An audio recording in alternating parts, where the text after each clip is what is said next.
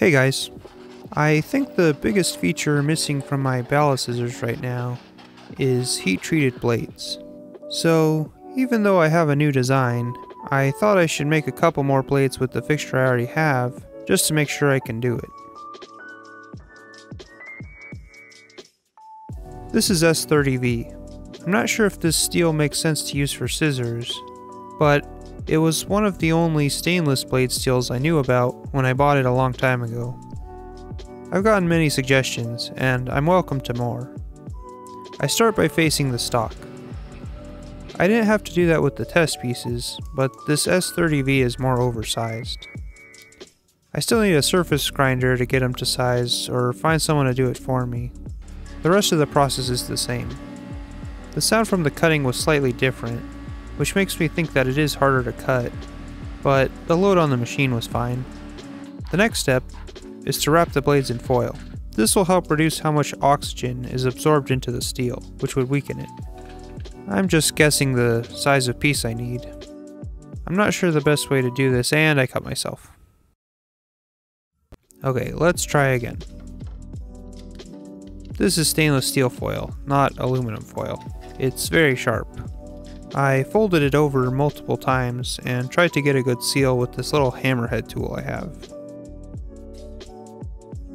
I think I chose too small of a piece for the amount of folds I tried to do.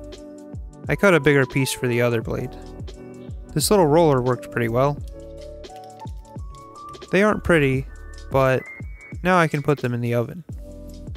Or maybe I shouldn't have. The instructions for hardening the steel say to heat to 1600, but it says preheat. I don't know if this is like cooking where you're supposed to preheat the oven, or if I'm supposed to be preheating the steel.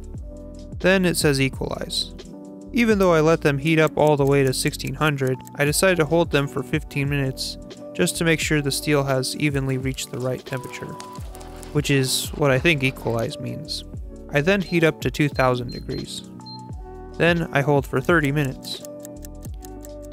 I was a bit nervous, so I got an extra hand from my brother. This is air hardening steel. I am pressing the blade between two blocks of aluminum, which should help suck the heat out of the blade. I wasn't sure how long it would take. Eventually, I had my brother check the temperature with a laser thermometer to see if we were making any progress. I was able to go from 2000 degrees to room temperature in around 3 minutes. That seems fast to me, but for a quench, it probably should be even faster. Next, I had to do the second blade. Same process. I didn't burn myself, so I'll say this was a success. But now the blades might be too brittle. So I have to temper them.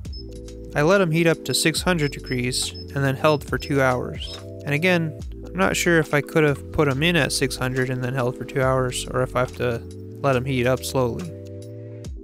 After 2 hours, I let them slowly cool to room temperature. When it feels safe, I open the door so they cool a little faster. I do this tempering stage twice. Okay, after all those hours, we can see if it worked. The bags are very dark and crusty, Let's hope the blades don't look the same way. It actually doesn't look that bad. There's definitely oxidation, as you can tell by these cool colors. It's not as bad as my Alpha Beast experiment, though. Let's open the other one.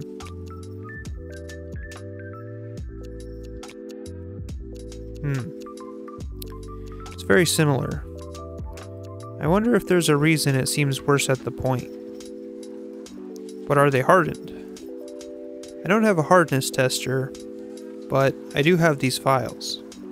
Each file is a different hardness. They're all harder than this piece of mild steel.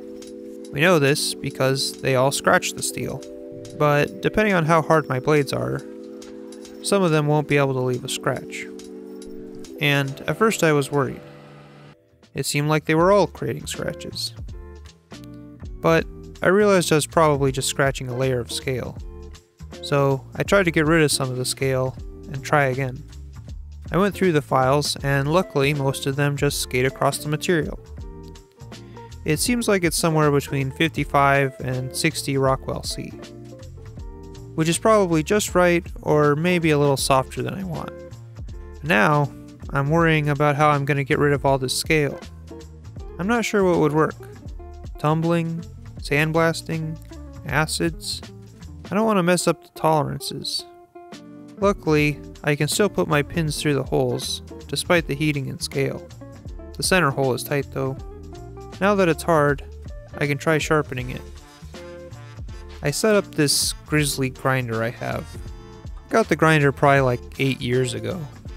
I was trying to get into knife making, but I got busy with other things, and a little frustrated with the grinder. As you know, I'm not the biggest fan of grinding and sanding. That's why I wanted to cut the bevels in the mill, but I think I'll have to do some handwork for the final edge. I think I need a fairly steep angle for scissors. These scissors are like 70 degrees on one blade and 45 on the other. I thought maybe 45 degrees would be a good middle ground to start at. The platen on this grinder isn't very good for this. Or maybe in general. Here we go.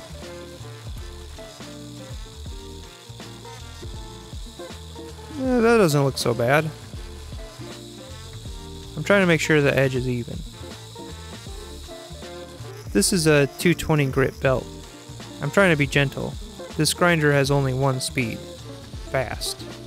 I'm also trying to make sure that I've actually cut to a sharp edge. I expected to see more sparks, and I thought that would help me tell when I've reached the edge. It seems like I got a burr on the bottom, so I decided to move on. I was braver with the second blade, so it went a lot faster.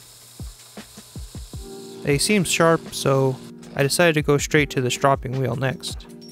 This is a leather wheel that I put rouge on. I'm not really sure what I'm doing. I was just trying to make sure that there was no burr on both sides.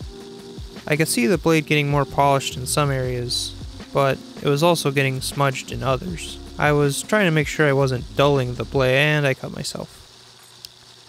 Okay, let's call that one sharp and try the next one. Looks good, I guess? Let's see how it works. First, let's cut some paper with the blades I have now. They do cut, but of course it doesn't leave a very clean cut. Now I'll switch to the hard and sharp blades.